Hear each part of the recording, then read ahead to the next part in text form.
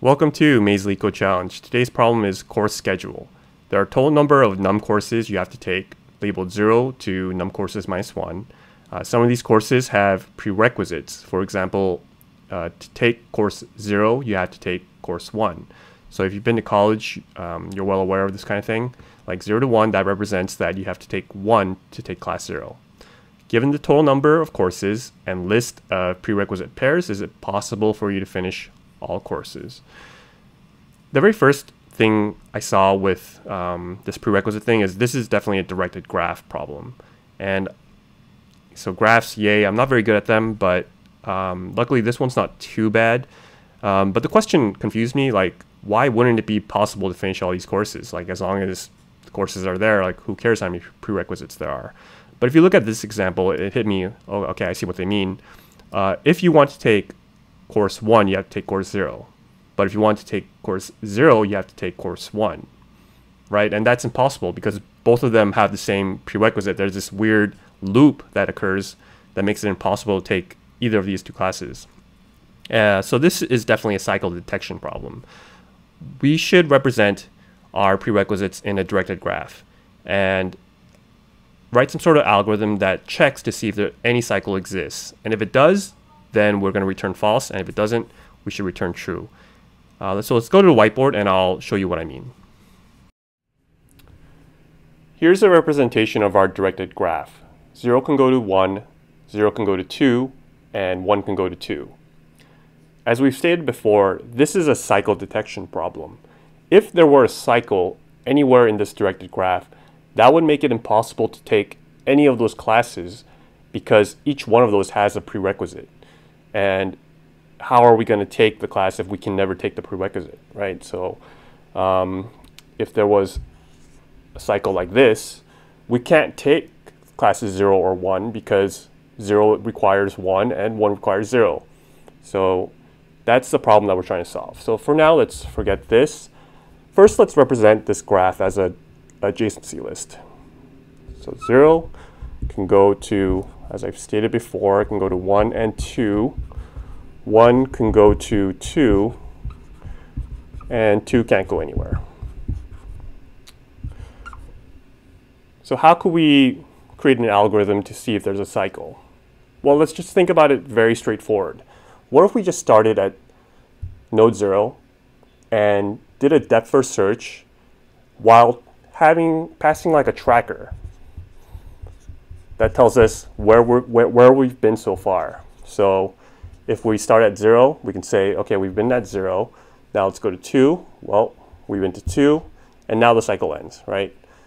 Now let's pop that off and go from zero um, to one, and we'll say we visited one, and we visited two.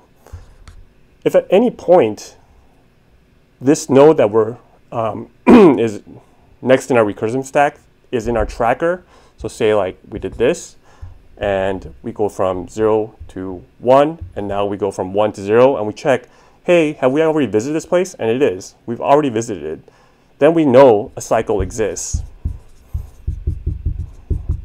And that's the basic idea behind this. Like, just call, do a depth first search recursively, and track which nodes you've already visited. And that way you can determine whether um, there's a cycle or not. Uh, and just make sure that once you finish the recursive stack, like you can pop off where you visited off the tracker. Now that we have our intuition to how to solve this problem, let's go ahead and code it out. The very first thing we want to do is create our adjacency list. So let's create a adjacency list, and we're going to make that a default dict with a list as its default type. And for all of our courses uh, with the prerequisite in prerequisite, all right, prerequisites, we're going to say, hey, from this pre, where can we go? We can go to our courses.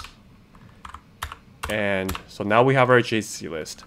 Next, we want to create a helper method that's going to do a depth first search to detect if there's a cycle or not.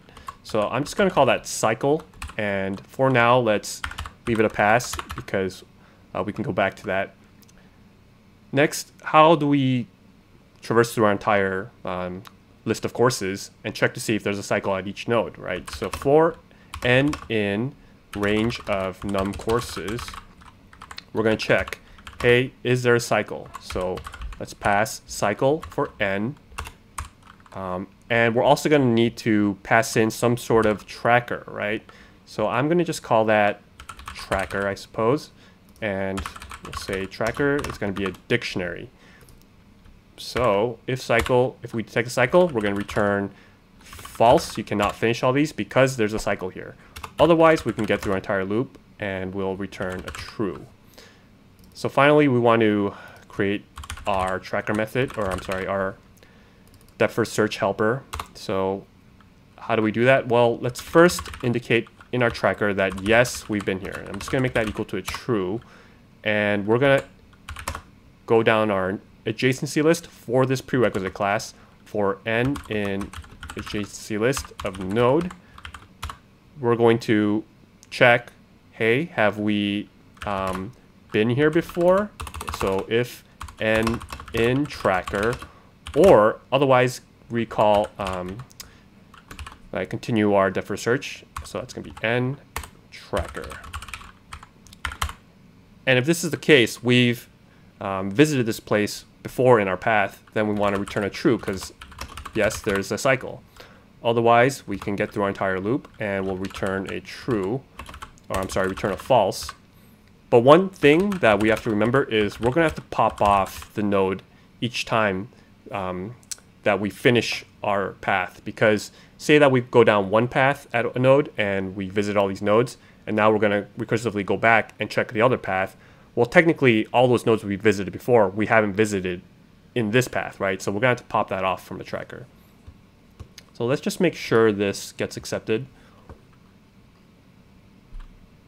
And it does get accepted. One thing I want to show, though, is it's not the most efficient solution. In fact, it only beats 10% of submissions. So not great.